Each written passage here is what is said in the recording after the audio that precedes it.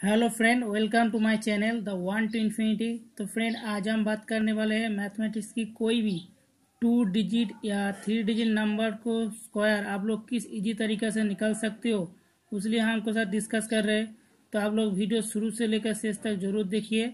चलिए हम शुरू करते मान लीजिए यहाँ पर थर्टी फोर इसको आपको स्क्वायर करना पड़ेगा।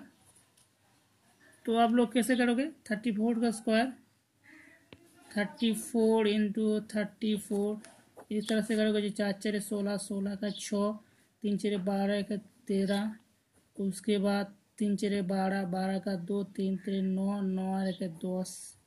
यानी आपको हो जाएगा, जो ऐड करने के पर छः फाइव वन वन एक हज़ार एक से छप्पन हो जाएगा। इस तरह से करोगे। लेकिन इस तरह से करने से कोई ज़रूर नहीं। क्योंकि जब तीन बार अड़ी जाएगा तो आप लोग बहुत लेंदी प्रोसेस हो जाएगा, क्योंकि मान लीजिए three four two three four two इसको करोगे तो बहुत बड़ा प्रोसेस हो जाएगा। तो इस तरह से करने की कोई ज़रूरत नहीं है। आप लोग इजी ट्रिक देख लीजिए। जब थर्टी फोर आएगा तो आपको क्या करना पड़ेगा? थ्री इंटू फोर कर दीजिए और उसके साथ दो गुना कर दीजिए। तो टोटल क्या हो जाएगा? तीन चेरे बारह बारह, चौबीस हो जाएगा। और उसके बाद क्या करना पड़ेगा आपको? तीन तीन जो है उसको स्क्वायर लेना पड़ेगा। तो तीन का स्क्वायर का नाइन होता है और चार का स्क्वायर का तो सोलह होता है।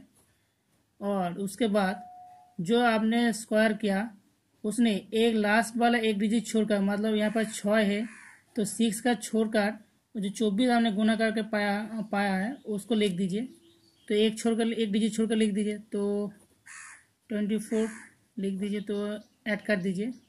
छः और चार के पाँच नौ या ग्यारह हो जाएगा तो सेम प्रोसेस हो गया। तो आप इजी तरीके से इस तरह से निकल सकते हो। उसके बाद नेक्स्ट टाइप पर आते हैं। मान लीजिए आपको सेवेंटी फोर को स्क्वायर निकलना पड़ेगा। तो क्या करोगे हम? बोला था seven into four into two गुना कर दीजिए। टोटल क्या होगा?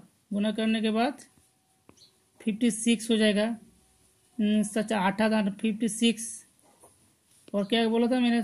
सात को स्क्वायर उनपचास हो जाएगा और चार का स्क्वायर सोलह कर दीजिए और एक छर कर लिख दीजिए उसको। तो एक लास्ट वाला छः है तो उसको छोड़ कर लिख दीजिए छप्पन।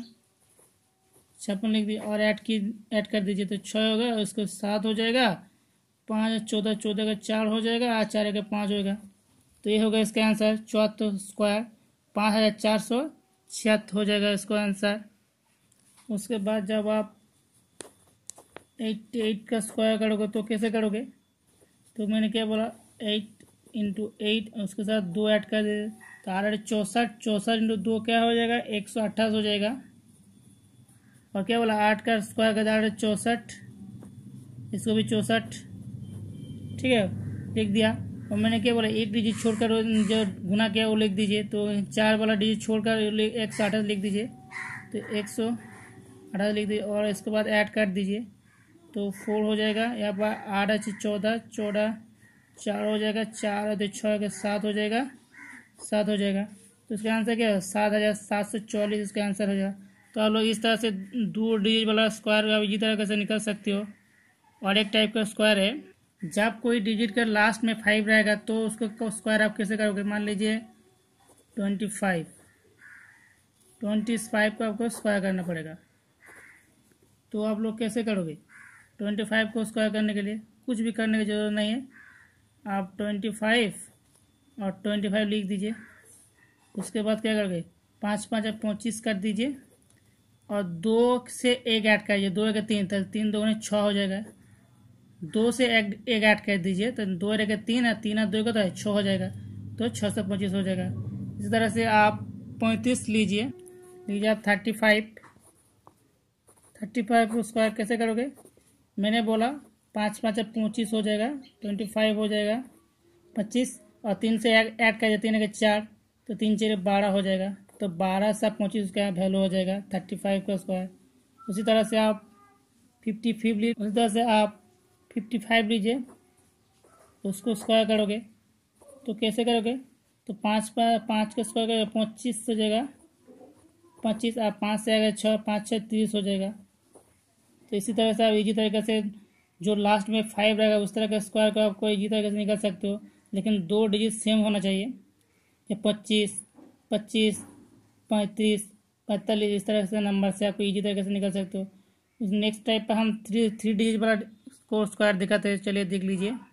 जब आपको दिया रहेगा एक सौ सात, इसको आपको स्क्वायर निकालना पड़ेगा तो कैसे निकालोगे? तो यहाँ पर दो डिजिट मान लिए दस दस वालों के एक डिजिट और सात वाले डिजिट मान लिए तो क्या करना पड़ेगा? सेम प्रोसेस दस इंटू सेवन इंटू टू कर दीजिए। और इसको जब जो ऐड गुण करोगे तो क्या होगा? सात सत्तर, सात चौदह, एक से चौलीस हो जाएगा इसका आंसर गुण करने से। और क्या बोला? दस को स्क्वायर कीजिए तो दस दस से सौ और सात को स्क्वायर क्या हो उनपचास हो जाएगा। और मैंने क्या बोला? लास्ट में एक डिजिट छोड़कर जो गुण करके ऐड कर गुना कर मल्टीप्लिकेशन करके वो लिख दीजिए, एक से चालीस। तो यहाँ पर हो जाएगा एक सा चौलीस हो जाएगा। ऐड कर दीजिए। नौ, चार चार, वन वन। तो इसका वैल्यू क्या जाएगा? ग्यारह हज़ार चार सौ उनपचास हो जाएगा इसका वैल्यू इसी तरह से आप और एक लीजिए। मान लीजिए आपको एक सौ अड़तीस लीजिए। इसको आपको स्क्वायर करना पड़ेगा तो कैसे करोगे? तो इसको स्क्वायर करना तेरह इंटू आठ इंटू दो आठ गुना कर दीजिए? तो गुना करने से क्या हो जाएगा? तो दो सौ आठ हो जाएगा इसको गुण करने से। और तेरह का स्क्वायर कर दोगे, एक सौ उनसठ हो जाएगा, आठ चौंसठ हो जाएगा। जब आठ का स्क्वायर करोगे। और क्या बोले? एक डिजिट छोड़ कर लिख दीजिए। तो चार के छोड़ कर बाकी जो नहीं वो लिख दीजिए तो दो सौ आठ हो जाएगा। उसके बाद आप लोग ऐड कर दीजिए चार। आठ चौदह। आठ आठ छः चौदह चौदह, चार। नौ के दस के ज़ीरो। छः के आठ नाइन और एक। तो इसको जो है उन्नीस हज़ार उन्नीस हज़ार चौलीस। इसका वैल्यू हो जाएगा। तो इसी तरह से हम कोई भी टू डिजिट या थ्री डिजिट नंबर को स्क्वायर इजी तरीके से निकल सकती है। तो फ्रेंड वीडियो अच्छा लगे तो लाइक करना। और अभी तक जिन लोगों ने चैनल को सब्सक्राइब नहीं किया चैनल को सब्सक्राइब करना और दोस्त के साथ इस वीडियो को ज़्यादा से ज़्यादा शेयर करना।